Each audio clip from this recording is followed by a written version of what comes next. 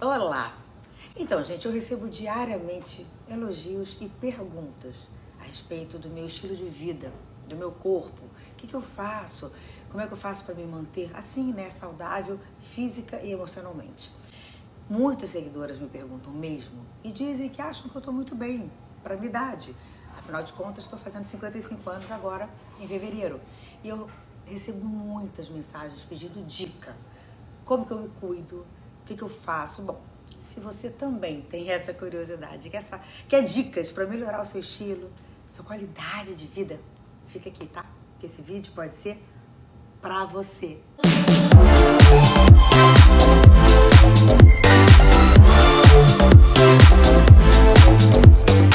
Sejam muito bem-vindos, bem-vindas. É sempre uma alegria receber vocês aqui nesse meu canal, né? Onde é justamente para tentar te inspirar, te ajudar, te motivar a ter uma vida diferente, mais saudável, talvez também até mais feliz.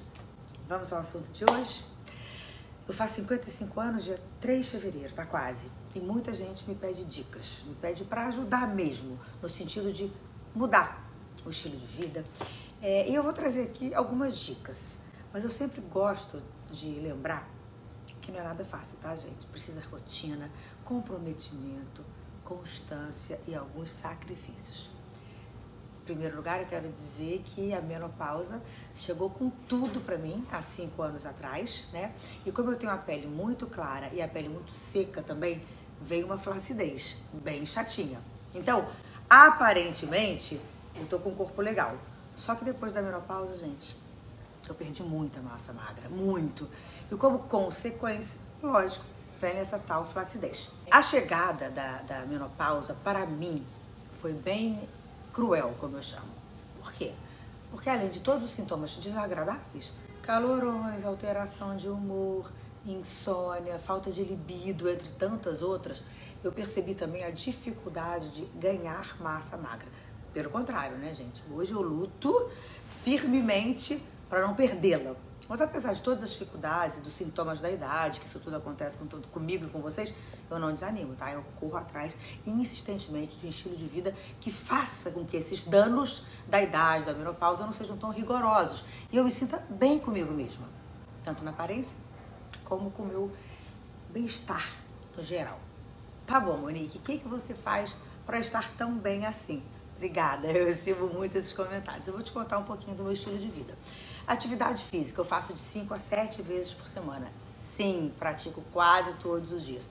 Eu até às vezes tento tirar um dia de descanso, mas a atividade física transforma o meu dia. Às vezes eu acordo desanimada, para baixo, com dor, sabe essas dores? Dor nas costas, dor aqui, dor ali, enfim. Eu vou para academia, eu volto outra. Então, independente da questão da forma física, a atividade física também faz bem para mim, ó, para minha cabeça. Por isso que eu indico tanto. Porque, gente, vamos cobrar que no início, quando você começa, que você não tem o hábito, dá muita preguiça. Sabe? É chato ir. Mas quando você cria esse hábito, a sua vida se transforma. Vai por mim. Começa, faz 30 dias, vai forçada, 30 dias. Depois dos 30 dias você me conta se não virou um hábito. Me lembro uma, uma entrevista que eu fiz aqui no meu canal com uma ginecologista maravilhosa. Ela me falou o seguinte, Monique, se a pessoa treina três vezes por semana, na menopausa, tem que treinar o dobro, seis. Senão não adianta. Cruel, né? Mas vamos lá. Tem que fazer. E o que, que eu faço atividade física? Eu faço musculação e exercício aeróbico. Eu sei que nem todo mundo gosta de musculação, tá, gente? Mas depois de uma certa idade, não tem jeito. É obrigatório, justamente pela questão da perda de massa magra. Então não dá para ficar sem musculação. Combinado? Porque além dessa musculação melhorar meu corpo, ela traz também para mim é, um bem-estar para minha mente, porque não tem sensação melhor que você endorfinar o seu dia. Aliás, vamos lá. Atividade física, gente, não sei se vocês sabem, claro, devem saber, é um dos melhores remédios para depressão. Quando você se exercita, quando você mexe o seu corpo, você produz substâncias do bem. Você produz ocitocina, endorfina, serotonina. É uma transformação quando você começa a fazer atividade física. O aeróbico que eu faço, gente, é correr. Eu gosto de correr 30 minutos, duas, três vezes por semana. A alimentação. Muita gente me pergunta o que, que eu como. Vamos lá. eu até costumo ir ao nutricionista que me ajuda e me orienta. E claro que eu vou pegando a dieta do nutricionista e vou adequando né, para o meu dia a dia. Atenção, eu não sou médica, não estou indicando nada, só estou aqui respondendo uma questão que muitos me perguntam como é a minha rotina de alimentação. Combinado? Vamos lá. Eu não sou muito de enjoar, então quando eu gosto de um café da manhã, de um almoço, de alguma coisa, eu fico repetindo ele porque me faz muito bem. Então, por exemplo, é, café da manhã. O que, que eu gosto de comer? Adoro comer dois ovos mexidos, meio mamão papaya e um cafezinho. Gente, esse café da manhã é super saudável e me faz muito bem. Tem dias, por exemplo, que eu não quero comer isso. O que, que eu como? Eu faço uma panquequinha de banana. Muito fácil fazer. Mistura um ovo, uma banana amassada, uma colher de aveia flocos finos, mistura tudo. Vai na frigideirinha e pronto. Panquequinha tá pronta. A panquequinha também é muito nutritiva e muito saudável. E às vezes eu passo, passo também uma pastinha de amendoim do lado de fora da panqueca. Muito bom, super indico, saudável, ótimo. Bom, depois do café da manhã, normalmente eu vou para academia. Lá eu tomo bastante água, gente, porque a água também é importante para o ganho de massa, tá? Quando eu chego em casa da academia, eu tomo meu whey protein. Deixa eu explicar uma coisa para vocês. Para a gente criar massa magra, ficar musculosinha, durinha, fortinha, a gente precisa de proteína. O carboidrato vai te dar energia, mas é a proteína que ajuda no ganho da massa magra. Como eu sei que ao longo do dia nem sempre eu consigo comer essa dosagem de proteína adequada, o meu nutricionista me indicou, após atividade física, tomar o tal do whey protein, que é proteína. Claro que é bom você conversar com seu nutricionista, tá, gente? Porque para saber se é indicado para você, normalmente é. Mas assim, eu não estou te indicando tomar, estou te dando a minha dica para você consultar o seu nutricionista. Hora do almoço, o que, que eu como? Vamos lá, de segunda a sexta eu adoro arroz integral, legumes variados, dois ou três. Aí eu adoro couve-flor, brócolis, chuchu, cenoura, berinjela, uh, abobrinha. Alterno esses, né? Coloco 130 gramas de uma proteína, frango, peixe ou carne vermelha e salada de folha que eu adoro. Eu adoro também colocar um shiitake. Você passa o shiitakezinho no azeite e come no prato. Shiitake é proteína, é ótimo. E mussarela de búfala também na salada de folha. Adoro. Feijão eu como de vez em quando também. Lanche, vamos lá. Eu vario entre um pão de queijo aberto, que é uma delícia, super saudável. Vou colocar a receita desse pão de queijo aberto na descrição do vídeo, que vão amar, tá? Ou então eu como também uma fruta, uma barrinha de proteína, ou um shake que eu misturo leite de amêndoas, é, frutas vermelhas congeladas, pasta de amendoim, um pouquinho de whey protein, enfim. Eu tento variar aí no meu lanche. E no jantar, eu não como massa, batata, eu não como esse carboidrato mais pesado.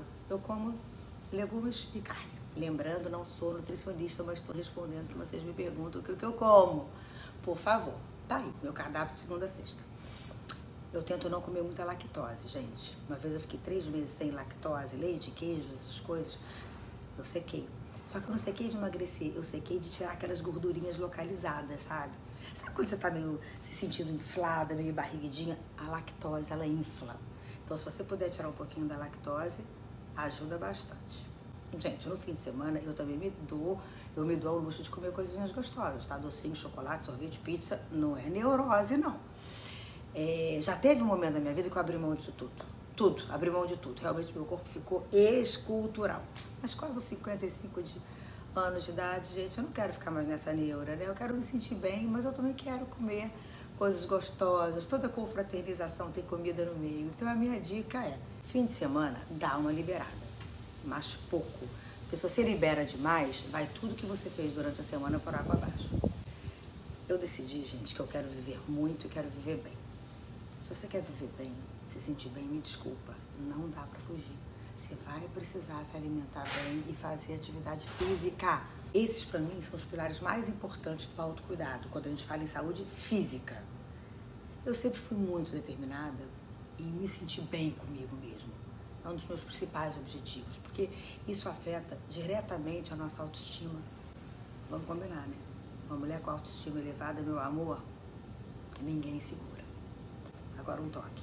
Não é fácil começar mas você tem que dar o primeiro passo e manter uma frequência. Atividade física, por exemplo, 30 dias. Se você fizer 30 dias, eu te garanto que você consegue. Persista! Depois eu te garanto que você não vai conseguir mais ficar sem, torna um hábito. Bora adotar um novo estilo de vida. Mas peraí, autocuidado não é só a parte física e estética. Mas eu só queria fazer um parênteses aqui. O histórico da, da família da minha mãe é todo de demência, de Alzheimer. Todos, gente. Irmãs, tias, mãe, avó, bisavó, ou seja, minha genética. Tá aqui, é a demência. Só que eu tenho uma tia maravilhosa que já está com 85, 86 anos e ela é mais velha das irmãs da mamãe. Ela continua maravilhosa, com uma saúde incrível. Aí você me pergunta, mas qual é a diferença dela para todas as outras irmãs? Os tios, os primos que já faleceram de demência. Ela é a única da família que faz atividade física há 40 anos. A atividade física comprovadamente ajuda para o não desenvolvimento, ou então, pelo menos, para o atraso da doença. E como eu sei que eu tenho isso na minha genética, eu faço tudo que eu posso, né? Para que eu não desenvolva uma demência ou que eu tenha lá para os 90, 95. Por isso que eu cuido da minha alimentação, que é muito importante cuido do meu físico, atividade física e cuido da minha mente. Estou sempre estudando muito, estou sempre querendo aprender coisas novas, estou sempre querendo desafiar o meu cérebro com novidade. É muito bom também para evitar as tais demências, isso é uma preocupação que está em mim. Agora, fora isso também eu me divirto, né? Eu amo estar com os meus amigos, tento não ficar reclamando da vida, entende? Sabe aquela coisa? Conhece aquela frase que o que não tem remédio, remediado está? É mais ou menos por aí. Eu não estou dizendo que esse estilo de vida meu é o estilo perfeito ou correto, mas a maturidade me trouxe uma consciência e um entendimento do que é bom para mim e o que não é. E o que pode ser bom para o meu futuro, para o meu envelhecimento. Eu queria dizer para vocês assim, eu não estou gostando de envelhecer. Não gosto das rugas, não gosto do cabelo branco, não gosto da flacidez, não gosto das dores no corpo mas eu quero envelhecer. Quero viver muito. Eu quero morrer bem, velhinha. Então eu preciso estar bem. Então isso que eu contei aqui para vocês um pouquinho do meu estilo de vida, da minha vida, claro que resumidamente, é o estilo de vida que eu tento praticar. É o estilo de vida que eu tento levar para que eu me sinta bem, com uma autoestima boa, com a cabeça boa, para envelhecer. Eu realmente espero que vocês tenham gostado, que eu possa ter ajudado, trazido, trazido aqui algum conteúdo que possa agregar na sua vida, sabe? Mas uma coisa que você não pode se esquecer, a gente tem que estar de bem com a vida, guardar mágoa, ficar arrumando briga, ser pessimista, reclamar de tudo, de tudo e de todos. Gente, isso não funciona. Quando a gente se esforça para pensar coisas boas, para ser otimista, a nossa vida fica mais leve. E é mais fácil que você otimista, você leve, consiga manter uma rotina adequada com, com qualidade. Vai mudar a tua cabeça, como que você é, é, exerce a sua vida, curte o seu dia. Porque se você é uma pessoa pesada, carregada, reclama de tudo, tá sempre de mal com a vida, como é que você vai acordar e vai para uma academia de ginástica? Como é que você vai conseguir comer um prato saudável? Não é fácil, não. Eu acho que muita gente tem essa vontade de mudar o seu estilo de vida, ter uma vida mais saudável. A gente sabe que é difícil, não é fácil começar. Mas se você não der o primeiro passo, você nunca vai chegar lá. A gente tem a mania de ser muito imediatista, você quer os resultados rápidos. Você não vai começar a fazer ginástica agora, começar a se alimentar bem, daqui a um mês você vai estar com um corpo bacana, vai estar sentindo absolutamente bem. Mas é o processo. Não foca só no resultado Foca no processo, curte o processo de comer bem, de se sentir bem, de fazer atividade física, de melhorar o teu humor, o teu astral, tua relação com as pessoas. Tua vida vai transformar. Só você tem a ganhar. Espero que você tenha gostado. Eu sei que você deve conhecer pessoas também que precisam desse conteúdo. Vou te pedir para compartilhar, mandar esse vídeo para pessoas que possam querer ouvir isso que eu te disse. É, por favor, curte meu vídeo, faz pergunta, comenta, vocês quiserem aqui embaixo. Eu sempre fico muito feliz de poder, de qualquer maneira, inspirar nem que seja uma pessoa, de saber que eu fiz a diferença para essa pessoa. É, no meu Instagram, eu trago conteúdo quase todo dia. Eu falo muito, eu trago muitas minhas dores, trago tudo, um pouco da minha vida e como que eu ressignifiquei, como que eu mudei, porque até os 50 anos eu só era atriz. Só ficava esperando convite, esperando convite, esperando convite, era infeliz, porque eu estava colocando a minha felicidade na mão do outro. Quando aos 50 anos eu virei a chave, criei o meu canal, minha vida se transformou. E eu trago muito isso como inspiração para vocês que não tem idade. Para você mudar a sua vida, dar uma guinada, virar a chave da sua vida, não tem idade. Tá? Obrigada por você estar tá aqui. É, aqui tá o meu Instagram, ó, tá vendo? Esse aqui é o meu Instagram. Corre lá, me segue. Eu vou ficar muito feliz de ter você comigo, comentando, curtindo e interagindo comigo. Adorei trazer um pouquinho aqui do meu estilo de vida. Espero que vocês tenham gostado. E ó, tamo junto e misturado. Beijo!